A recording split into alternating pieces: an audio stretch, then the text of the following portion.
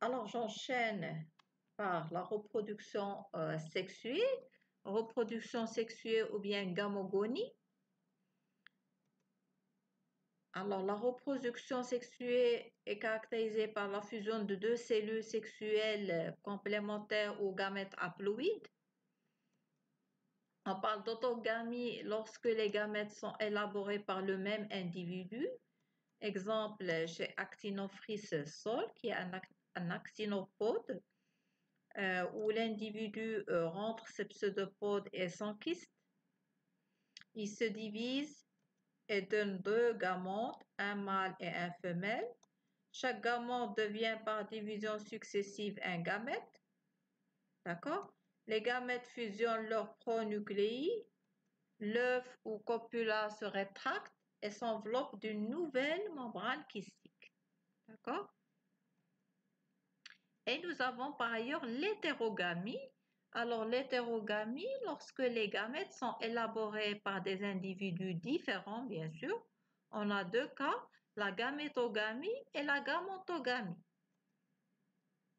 Alors, la gamétogamie, c'est lorsque les gamètes provenant d'individus différents, vous avez par exemple un individu 1, un individu 2, par exemple, l'individu 1 dans le gamète femelle et l'individu 2 dans, dans, le gamète mâle, d'accord?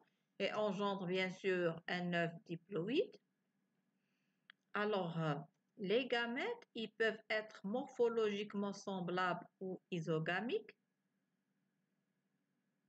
Je parle des gamètes. Ou bien les gamètes morphologiquement différentes D'accord? Ils sont différents. On parle d'anisogamique. Ensuite, nous avons la gamontogamie.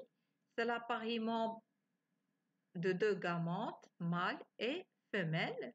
On va voir un exemple de gamontogamie, c'est la conjugaison. Alors, la conjugaison chez certains ciliés est une forme particulière de gamontogamie où les deux conjugants diploïdes s'accolent par leur péristome. C'est une face antérieure, d'accord?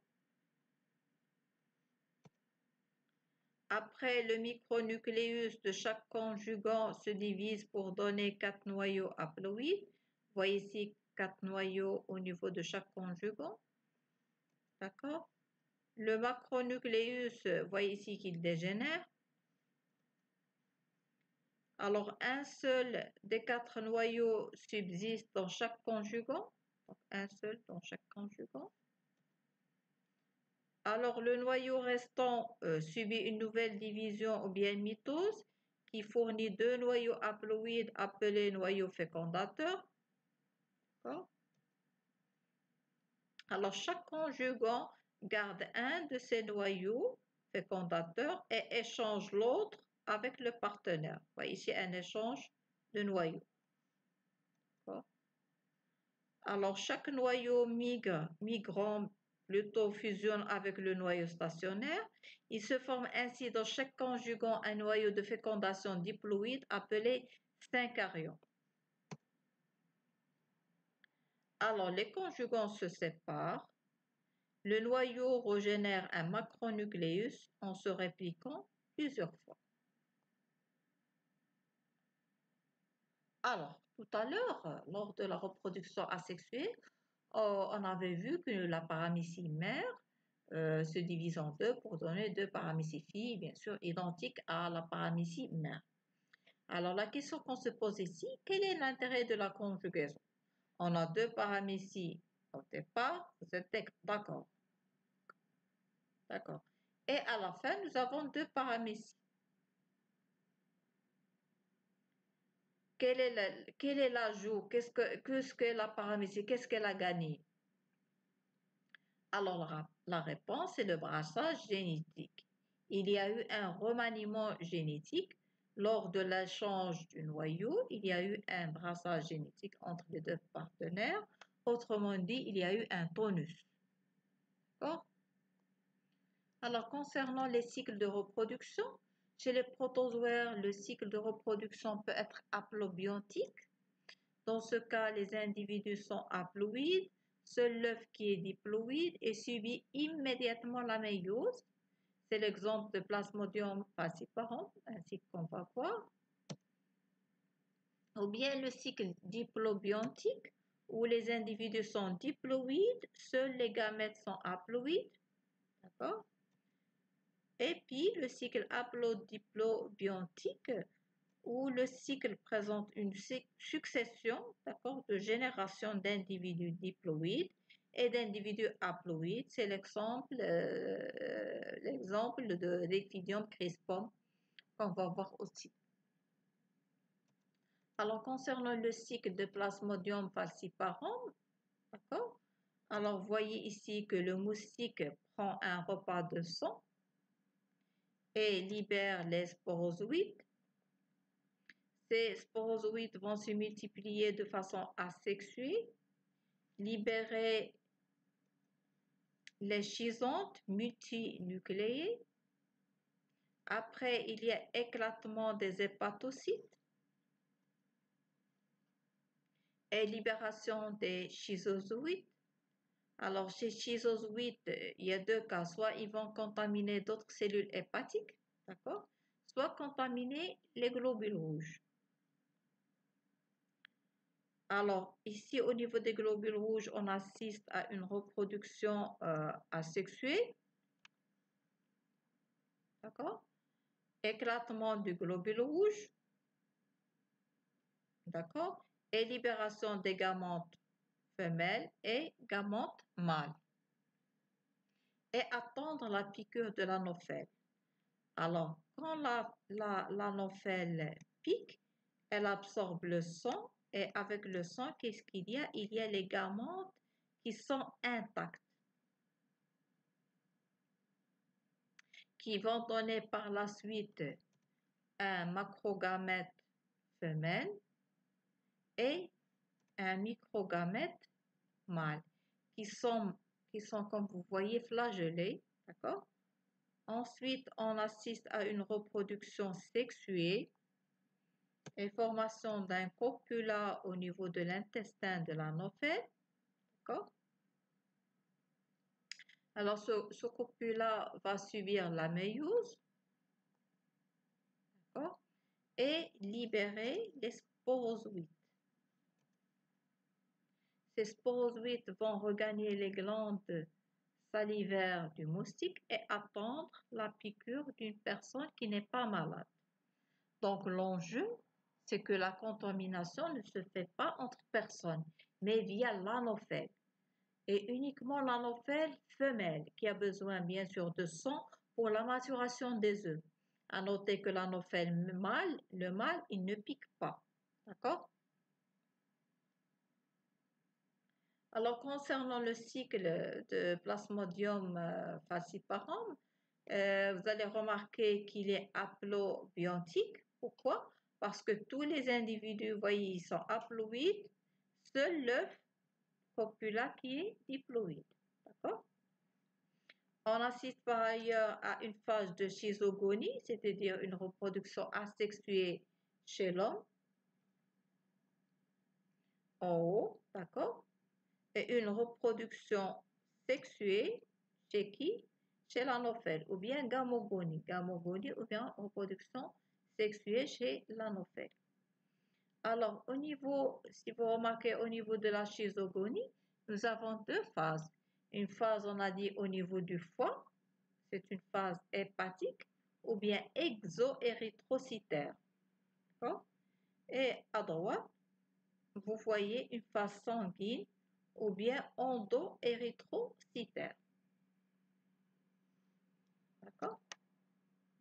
Bien sûr, euh, on l'a déjà dit, c'est un cycle qui est haplobiontique. Alors, concernant Elphidium euh, crispum, alors euh, c'est une espèce par ailleurs qui est littorale, elle vit dans le littoral, dont le test est formé de plusieurs loges disposées en spirale. Alors, euh, pour le cycle des philium crispum, il est haplodiplobiontique et on va savoir pourquoi. D'accord? Alors, euh, voyez ici, Ephidium crispum, euh, il est à deux N chromosomes, un gigante à deux N chromosomes.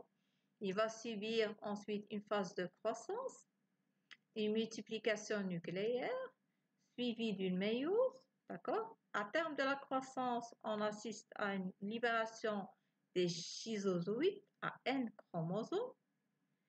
Ces derniers sécrètent un test de grande taille qu'on appelle gamote.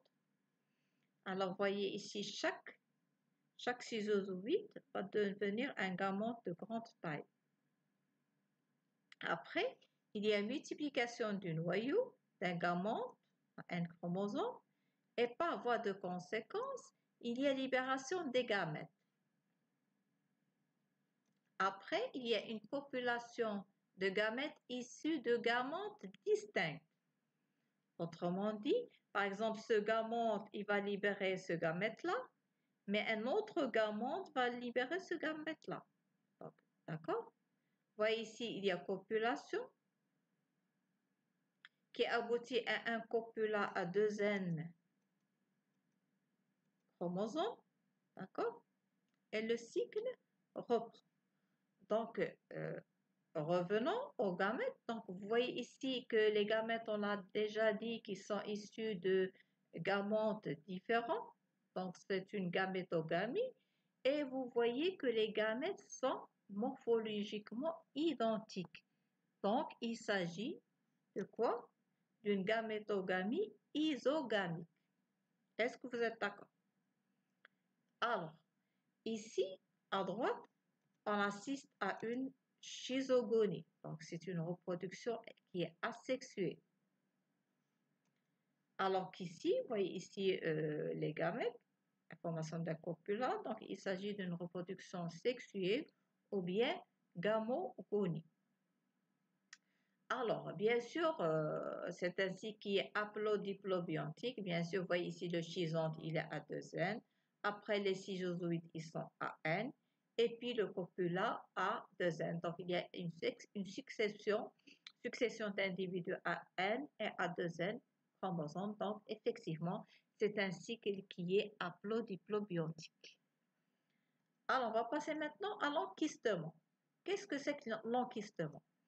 Le kyste est une forme de résistance aux conditions défavorables du milieu, par exemple, changement de température, euh, du pH, diminution de la nourriture, etc. Le protozoaire se déshydrate, rejette la plupart de ses enclaves, secrète une coque de résistance et entre en vie ralentie. Alors, ces kystes arrondis peuvent assurer la propagation des espèces et puis la, la coque souffre après et libère de nouveaux individus lorsque les conditions deviennent favorables. Alors, la question qui se pose, pourquoi les protozoaires n'ont pas disparu Et la réponse, c'est que c'est grâce à l'enquistement. Quand les conditions sont défavorables, par exemple dessèchement d'un lac par exemple, ils s'enquistent et quand les conditions redeviennent favorables, chute de pluie par exemple, ils reprennent la vie normale.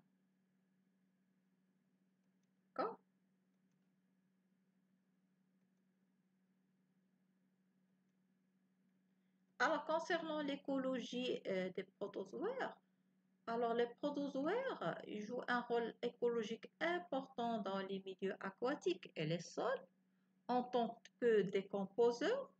C'est le rôle principal des protozoaires qui contribuent largement à retourner les éléments nutritifs vers les producteurs primaires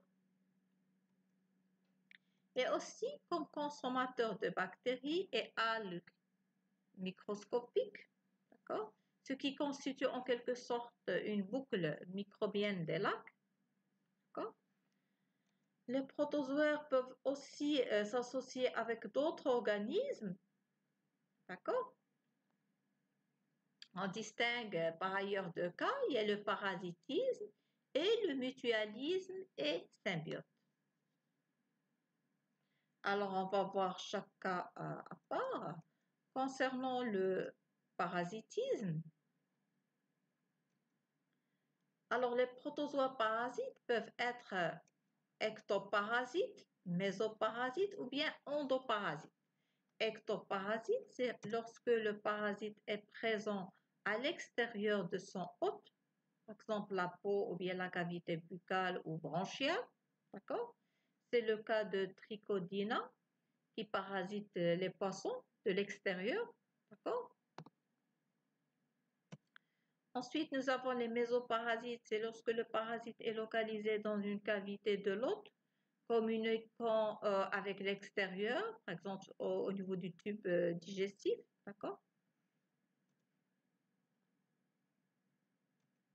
Ou bien endoparasite, eh bien dans ce cas, le parasite est présent dans les tissus, le système sanguin ou à l'intérieur tout simplement d'une cellule. C'est le cas de l'Eschmania. D'accord? Alors, euh, concernant le cycle de Leishmania, alors euh, voyez ici que le phlébotome un repas de sang. D'accord Ensuite, les promastigotes sont phagocytés euh, par les macrophages. Ensuite, les promastigotes se transforment en amastigotes dans les macrophages. Ces amastigotes se multiplient dans les cellules de différents tissus. Après, il y a piqûre et ingestion des macrophages parasités par les amastigotes. D'accord Ensuite, il y a éclatement des cellules parasitées. Et puis, les amastigotes se transforment en promastigote dans l'intestin du phlébotome. D'accord Division dans l'intestin toujours du phlébotome, émigration vers les trompes. Et quand le phlébotome prend un repas de sang, il injecte par la suite ses promastigotes, Et le cycle reprend. C'est-à-dire la contamination d'une personne saine qui n'est pas malade. Donc, aussi, dans ce cas, la contamination ne se fait pas de personne à personne. C'est le phlébotome, l'insecte, qui permet la transmission du. D'accord? Alors, à noter que l'Eschmania est libre et flagellée chez l'insecte. D'accord? Et puis, elle est intracellulaire et sans flagelle chez l'hôte qui est en général un mammifère. D'accord? Alors, concernant le mutualisme et symbiote, on va traiter un exemple de symbiotisme, le cas d'association tripartite, protozoaire, bactéries et termites. Il s'agit d'un symbiotisme. Ça veut dire quoi? Que tous les trois, ils profitent. Aussi bien le protozoaire la bactérie et la termite. Alors, pour ce cycle-là de symbiotisme, les termites, alors euh, est-ce que vous connaissez les termites? Les termites, ce, sont les fourmis euh, blanches euh, qui provoquent des trous au niveau du bois.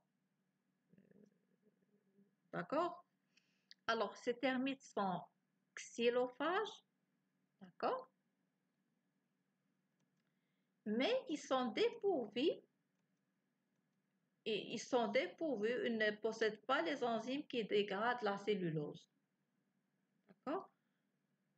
Contrairement à Trichonympha, Trichonympha c'est un protozoaire qui présente, qui contient les enzymes qui dégradent la cellulose. Donc, Trichonympha, qu'est-ce qu'elle fait? Elle concasse, euh, donc euh, elle phagocyte les fragments de bois qui sont déjà concassés par les termites. Donc, autrement dit, les termites, ils concassent les bois, d'accord? Et après, Trichonympha, elle phagocyte les fragments de bois. D'accord? Digère la cellulose, d'accord, et rejette la lignine qui sera utilisée par les bactéries, d'accord? Alors, ces bactéries dégradent les déchets puriques pour libérer l'azote, d'accord? L'azote qui va être facilement utilisable par les termites, d'accord? Alors, l'intérêt de cette association, c'est la libération des éléments nutritifs et aussi l'abri et l'alimentation.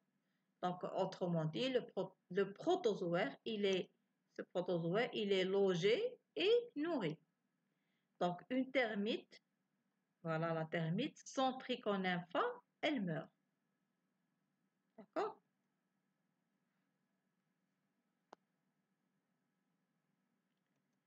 Alors, euh, revenons maintenant à la systématique. Alors, c'est quoi la systématique? C'est la science de la classification des êtres vivants. Cette classification des protozoaires est basée sur la nature de l'appareil locomoteur et le cycle de développement. Parce qu'on peut avoir le même appareil locomoteur, mais le cycle de reproduction diffère. Alors, on commence par le phylum des Sarcomastigophora. Alors, Sarcomastigophora, c'est un, euh, c'est un mot qui est composé par trois parties.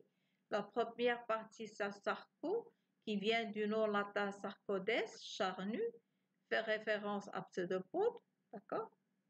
Mastigo, du nom latin mastigos, fouet, donc flagelle, et puis la troisième partie, fora, du nom latin foros, ça veut dire qui porte.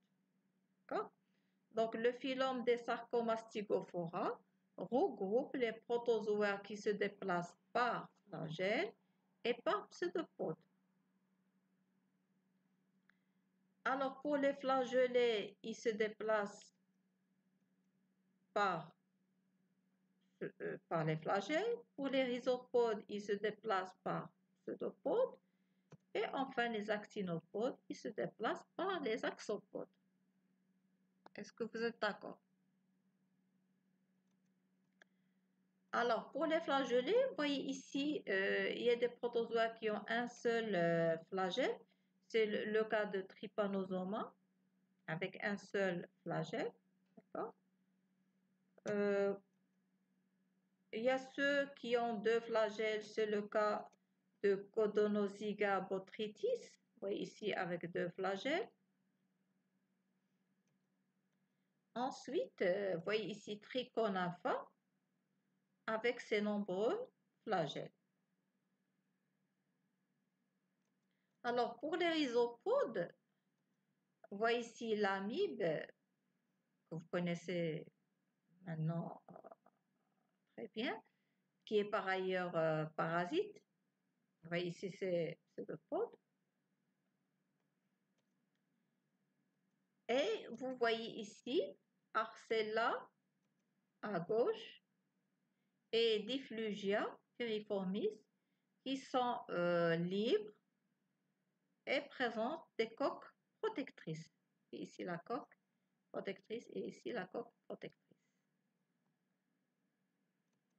Alors, pour les actinopodes, nous avons par ailleurs l'amphilange et l'angata, présentant des pseudopodes en faisceau.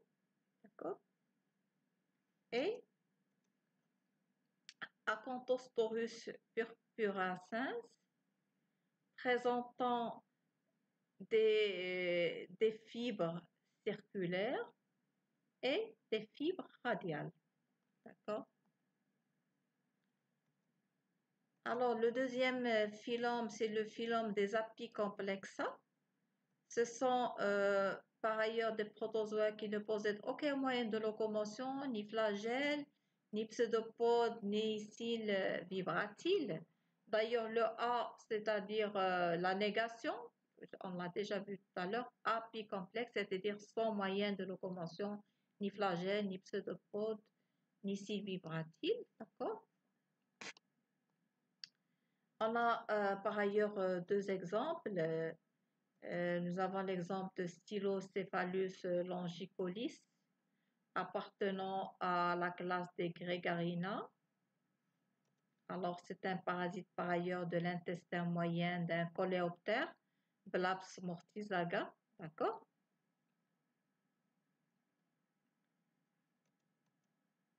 Et puis, euh, vous voyez ici un, un schizozoïde mûr de Sarcocystis tenella, d'accord, appartenant à la classe des Coccidia. À noter que cette classe comprend aussi Plasmodium falciparum.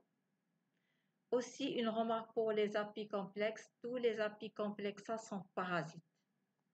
D'accord? Alors, euh, on passe au troisième et dernier phylum, c'est le phylum euh, des Ciliophora. Euh, vous voyez ici quelques exemples. le premier exemple, c'est Ophrioskolex caudator, Paramecium, que vous connaissez maintenant très bien. vous voyez ici Codonella. Ensuite, le stentor, d'accord, et alors, c'est vraiment les points essentiels à retenir euh, sur ce chapitre euh, consacré aux protozoaires. Voilà, je vous remercie pour votre attention et à très bientôt.